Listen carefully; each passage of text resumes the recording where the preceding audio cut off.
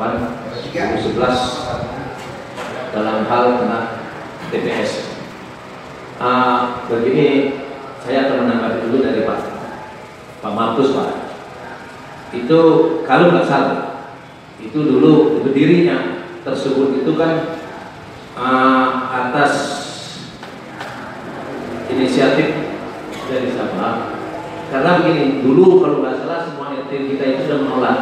Namun sampah tersebut itu adalah kalau nggak salah dibeli pak. Asal bukan buat tempat TPS buat sampah. Jadi itu punya kalau nggak salah uh, Mercy LKM apa LSM daripada dunia kalau nggak salah itu kontrak berapa tahun dan memberikan anggaran untuk berapa bayar kamu nanti di wilayah yang dipilih pilah-pilah kan kalau nggak salah selesai Hah? Iya, Persiko. LSM Persiko. Selesai itu tidak ada lagi kan? Karena nggak apa kalau LSM kan cuma setahun dunia kan begitu. Silakan kepada APBN jadi bukanlah dari APBN jadi dari LSM dunia menyerahkan kepada APBN BBM Bapenas itu bukannya itu Bapenas Bapenas menyalurkan untuk mengangkat sampah itu.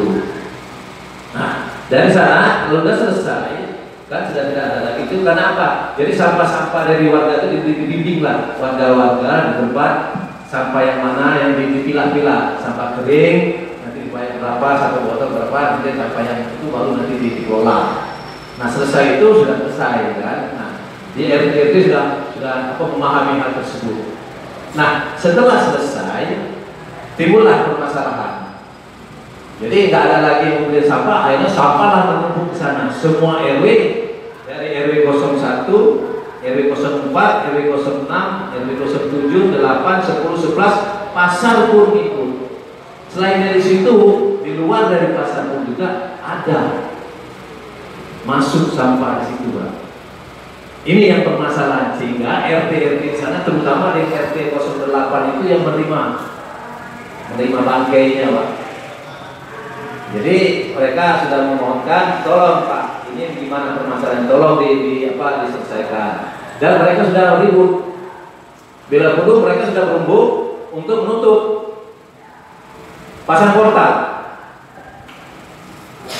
Kenapa? Ya karena kalau kita masa orang sampah kita tinggal lima baunya penyakitnya pada kita. Ini. Jadi inilah yang kami sudah ketemu sama Pak Lurah, bagaimana permasalahan tersebut. Dan kita warga kita pun warga RW 07 pun juga tidak punya kesempatan untuk kewenangan untuk untuk untuk untuk memantau situ pak. Semua pada mantu semua karena di pemerintahan itu. Nah ini ini wilayah kita wilayah RW 07 yang menerimanya saya pakai itu. Nah ini RT sudah seluruh RT sudah sepakat.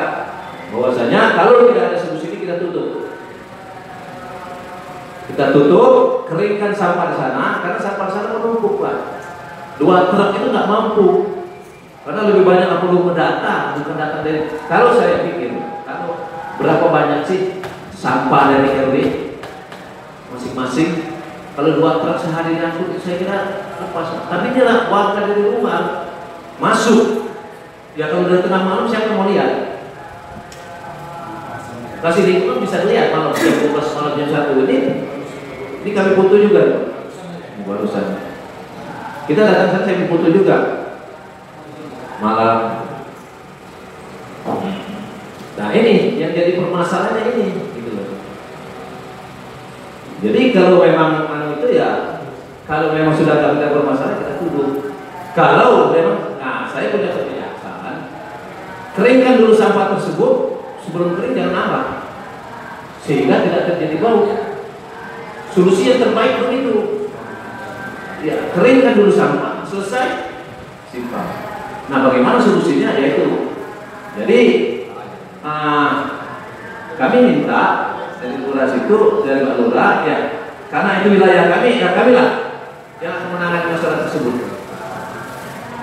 Jadi kami akan seleksi, kami kita akan seleksi, betul-betul lah akan kami tata. Yang mana aja yang masuk sini. Kalau komisasinya apa pada kita? Yang lima baunya. Orang makan goreng kita baunya aja ngira nggak tapi ini bukan bukan bau yang baru enak itu bau yang bau yang pagi itu sampai menetes airnya di tetangga.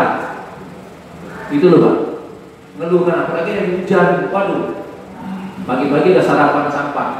Pertama kedua kita di masjid itu memang merasa apa cuma saya tutup mata tutup telinga aja lah karena saya itu pak ini bau sampah bau sampah. Saya kira demikian pak. Jadi kami mohon solusikan dari Pak Lurah bagaimana kita jalan sendiri supaya ini juga karena kita juga ya saya juga merasa dengan di pemerintah juga bagaimana kan itu. Nah satu-satu jalan ini solusi saya yang saya tawarkan. Keringkan sampah baru isi. Satu. Kedua kami dari RW yang akan mengelolanya. Biar tetap terima kasih pak.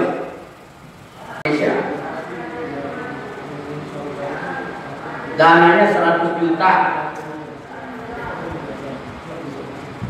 Terus keberadaan TPS hari ini juga saya sangat berterima kasih dengan Pak Lurah bahwa bisa mengkondisikan para ketua RW dan Bapak LMK kita Sukapura, Pak Jamin juga berkenan hadir dan Dinas Kebersihan.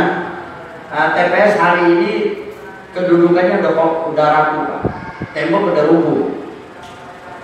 Di sana sini sekaligus saya menjawab usulan dari Pak LMK Sukapura tidak ada dana yang masuk di sana Pak. Satu rupiah pun tidak ada orang yang setor di TPS benar Pak ya? ya tidak ada. Tidak ada sama sekali Pak. Jadi tidak ada yang namanya dikoordinir per RT harus nyetor sekian itu tidak ada Pak. Nggak ada sama sekali.